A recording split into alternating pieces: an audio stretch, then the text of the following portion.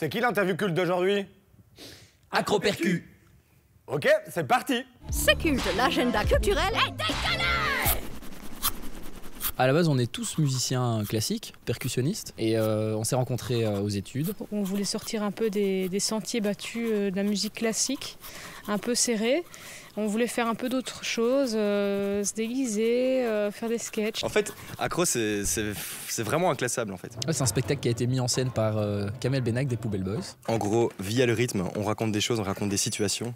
On fait vraiment du théâtre en fait sur scène. C'est pas juste de la musique. C'est de la, de la musique visuelle. On a des structures de base, mais le reste c'est de l'impro. Ah, ça a changé. Voilà, ça a changé alors que la, la base est identique, mais c'est vrai qu'on s'amuse, on s'éclate toujours en fonction du public et surtout on, on donne aux gens le- l'espoir de retrouver le côté enfant.